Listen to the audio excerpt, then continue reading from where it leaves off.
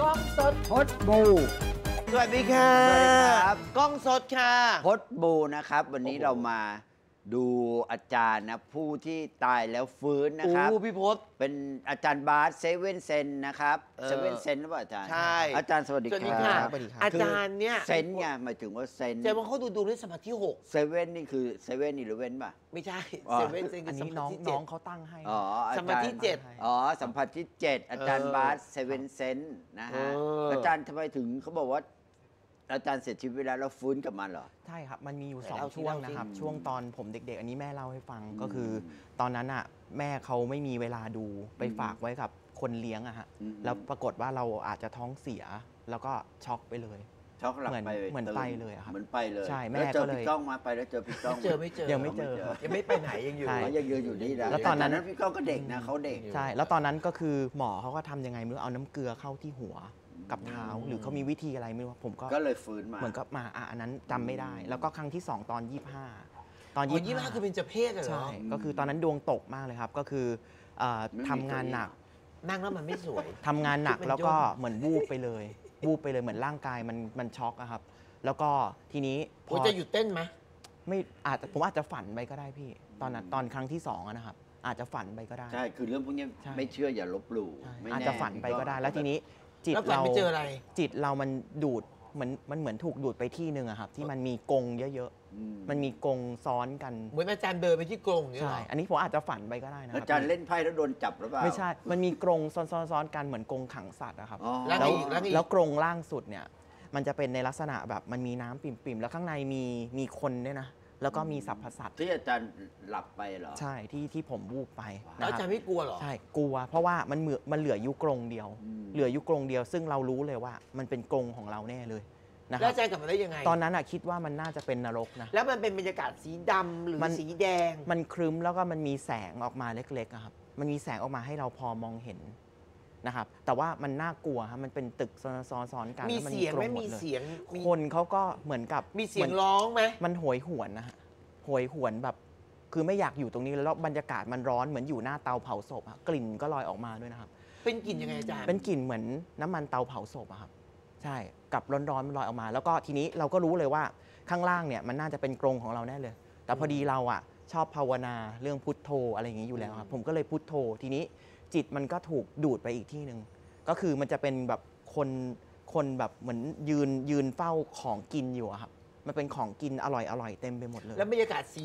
บรรยากาศครึ้มหรือสีสว่างบรรยากาศเหมือนเหมือนพระราชวัง อ๋อแต่มีคนของวางใช่ครับ เต็มไปหมดเลย ใช่ครับบรรยากาศสวยๆเหมือนพระราชวังเหมือนคฤหาสน์ เหมือนพระราชวังวินเซอร์เลยครับ เออแต่ว่ามันสวยกว่า มันบรรยากาศดีแล้วกว่า ของกินคือไอ้ของกินเต็มเลยแล้วก็ทุจะลงมี ทุเรียน มีคุณยาย มีเด็กสาวๆ มีอะไรยืนเฝ้าหมดเลย ซึ่งตอนแล้วนั้นอาจารย์กินไหม ตอนนั้นภาพมันวาบมาเลยนะว่า เหมือนเราอะเคยทำบุญพวกเนี้ยไว้ เช่นอ๋อใส่บาตรพี่เช่นก้อะองไรแล้วเมื่อไหร่อาจารนะครัย์บจะได้ดูอะใช่อะเบรกสองไง ใช่อ๋อเหรอเบรกสองใช่ไหมนะครับ อืมเบรกสองเบรกนี้ดูเรื่องความเอาตาแล้วยอาจารย์พอตื่นขึ้นมาอาจารย์รู้สึกว่ามีใช่ ซิกเซนเลยเหรอ พอหลังจากนั้นเนี่ยมันก็เหมือนไปเจอพราหมณ์ท่านหนึ่งเขาก็อืม ในในในนั้นเขาก็ให้เบอร์ในฝันมาใช่เขาให้เบอร์มาเป็นโรงพยาบาลเป็นเบอร์โรงพยาบาลลาดพร้าวอะอืม ตื่นขึ้นมาเราวาบตื่นขึ้นมาใช่ไหมครับจากจากความตายเนี่ยเราก็โทรหาเลยอะเป็นเบอร์โรงพยาบาลลาดพร้าว อืม อ่า แล้วรถก็มารับหลังจากนั้นเนี่ยซิกเซนเรามันก็ แล้วมัเขาบอกก็มากมีขึ้นวิญญาณมีผีอะเจอท่านผียมไหมอาจารย์เจอท่านยมไหมไม่เจอครับ ไม่เจอหมอแต่ปลายไหมคนไม่เจอไม่เจอเหรอเขายังครับอาจารย์แล้วบอกมีผีมาเข้าคนขอให้ช่วยเหลือ ใช่ ยังไงนะครับอาจารย์ไหนเล่าก็สิคือตอนนั้นสั้นตอนนั้นเนี่ยเราเริ่มเราเริ่มดูใช่ไหมครับ เราก็ยังไม่ได้เก่งเกิงอะไรวิธีแก้อะไรเราก็ไม่รู้ครับอืมเขามานั่งดูกับเราใช่ไหมครับเขาก็สั่นเหมือนเจ้าเข้าเลยครับอืมทีนี้เราก็เฮ้ยเอาไงดีวะเนี่ยก็เลยผมก็เลยสัมภาษณ์ สัมภาษณ์ผีคนที่มาเข้าเลยว่าอืมเออเอาไง จะยังไงเอออยากดูดวงไหมอะไรเงี้ยอะอืมปรากฏว่าเขาออก ก็เลยไปบอกพี่เขาว่า เออพี่พี่เนี่ยเข้าเข้าออกออกสำนักต่าง ๆ ใช่ไหมแบบไปครอบครูอะไรเงี้ยพี่ก็บอกใช่บอกว่าพี่อยากหายไหมๆอืมเออ พี่เขาบอกอยากหายเพราะว่าเป็นอย่างนี้ตลอดเลย แล้วมาเป็นอย่างนี้ต่อหน้าเราด้วยอย่างเงี้ยฮะคนไม่รู้จักกัน แล้วคนที่เข้ามาเป็นสัมภเวสีหรือเป็นอะไร มันอาตจารอย์บเห็นไม่ไหมได้อะพี่ มันเป็นเหมือนอาการทางจิตเขาเองนะบางทีโอ้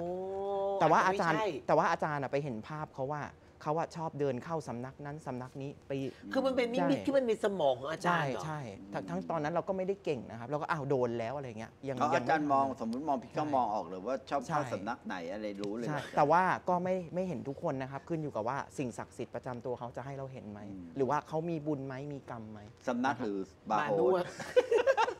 อ๋อ แบบอะโคจรอะไรเงี้ยครับออเมาเนอะ เคยไหมเคยเจอเคยเจอพี่ก้องไม่ที่เคยชะกันไหมไม่เคยสเวนอะไรนะ นี่ก็เมาเป็นเรื่อยอะไรอาจารขัย์บนะแต่อาจารย์เขายื้อซอยอาคนรีที่อะไรตายอะไรขับนะซอยอารีวีขับวีขับไม่เคยเคยเจอไหมไปไม่เคยเหรอโอ๊ยอาจารย์พี่กองพี่กองใช้บริการแบบนั้นด้วยเหรอครับ ใช่ ไม่ได้ใช้แล้วหลังคอเอา อาจารย์เขาบอกว่าอาจารย์ช่วยยื้อชีวิตคนที่จะใช่ตายด้ใช่วยคนเราเวลามาดูดวงเนี่ย ต่อให้ป่วยแค่ไหนอะก็ครับก็ไม่อยากนอกเรื่องก็ไม่อยากตายหรอกพี่ ทีนี้เราก็ต้องดูว่าบุญเก่าเขาว่าเหลือไหมถ้าบุญเยอะถ้าบุญไหม เขาเหลือเนี่ยเราก็อาจจะติดต่อสิ่งศักดิ์สิทธิ์ขออ๋ออาจารย์ยื้จะชีดูวิตไรู้เลย แต่อย่างมากเนี่ยก็อาจจะสักปีหนึ่งที่หกยื้อเนได้ ใช่ส่วนใหญ่จะเคสพวกนี้จะเป็นพวกเคสมะเร็งอืมคนคมันนเล็งเรานี่อาจารย์เห็นยังไง คือมันเห็นเป็นคนหัวโล้นๆเป็นภาพนิมิตคนหัวโล้นๆอุ้ยแล้วเยผมไม่หัวโล้นไหม ไม่ไม่ไม่แต่แล้วพี่ก้องยังอยู่อีกถึง 6 เดือนไหมโอ้ยพี่ก้องอยู่อีกยาวพี่ ไม่ได้เรื่องกันที่เอาหมดใช่เวลาก็ไป ก็คือถ้าไม่ได้ถ้ายื้อได้จัดรายการอื่นถ้ายื้อได้เราก็จะยื้อพี่นะคถ้ารับพี่ก้องไม่ถึง 6 เดือนจะได้ไปจัดรายการใช่อื่น ครับ อะอาจารย์ค่ะเดี๋ยวช่วงหน้า อืม จะมาดูกันนะอาจารย์บอกเออช่องทางติดต่ออาจารย์ก่อนก่อนจะได้เลยครับ ก็ไปที่เพจ Horo Society ก็ได้ครับอืมแล้วดูก็ดวงแก้กรรม ใช่ หรือว่าเซิร์ชคำว่า ดูดวงแก้กรรมอาจารย์บาสอานี่จารย์ก็ได้ครับบาสเดี๋ยวมันจะขึ้นมาเอง อะไม่คือเราต้องอย่าไปเครียด เราก็พูดเรื่องขำๆไปมั่งแล้วเดี๋ยวก็ซ่อแซกไปเออวันนี้เราไปพูดเรื่องดูแล้วรู้เลยว่าเป็นมะเร็งก็เครียดกันตายนะพี่ก้องใช่ใช่ ใครบอกใครบอกว่าพอเป็นมะเร็งแล้วจะไม่เครียดเครียดนะ เครียดสิอืม อะเดี๋ยวช่วงหน้าเรามาคุยกับอาจารย์ต่อเรื่องการดู โดยการที่ดูดสัมวงผัสอืมเซเว่นเซนส์ได้ครับ สเวนเซนอัปเบรกสักครู่ครับ กล้องสด พดบูมีทำ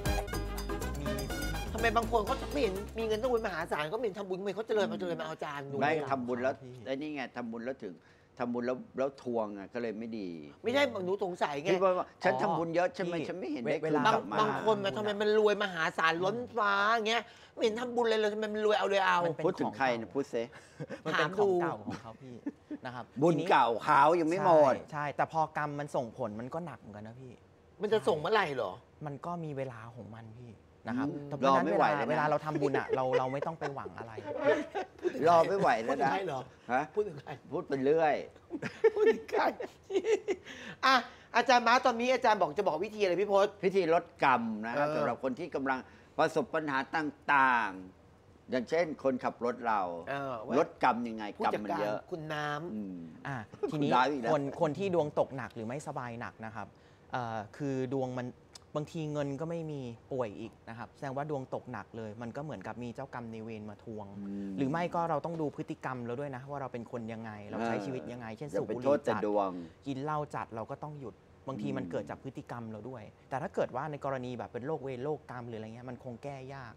สิ่งที่อยากจะให้แก้ก็คือให้สวดมนต์มากๆ ไม่ไม่อยากสวดก็ต้องกลับมาสคือวดไงมีกรรมก็ต้องก็ต้องใช่ชดใช้กรรมใช่แหละหลายคนจะอะช้าจะชจะอบเร็ว จะชอบไปหาหมอดูคนนั้น ไปพระอาจารย์องค์นี้สุดท้ายอะเขาก็จะให้เรากลับมาสวดมนต์ไหว้พระอยู่ดีอืมแนะนำให้สวดพวกพุทธคุณนะฮะให้อาเกินจารย์อายุจริงไหมจบ ต้องทำสะสมไว้ก่อนไม่ใช่พอใช่เจอปัญหาหนักเราแค่มาใช่ ทำ สะสมบุญ คือต้องบุญเนี่ยทำก่อนมันใช่จะไหมมาช่วยเรายามคับขันเสมอ ดังนั้นใคร